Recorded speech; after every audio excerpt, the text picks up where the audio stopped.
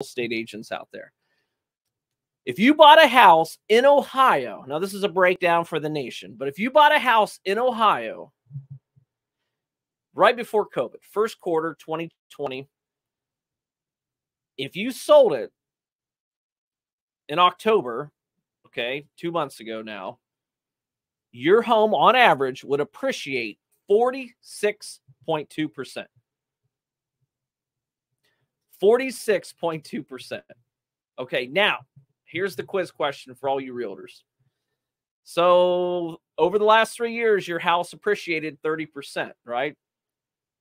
How much did an average home appreciate in the state of Ohio in 2023?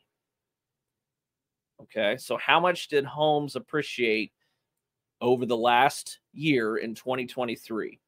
Because if they appreciated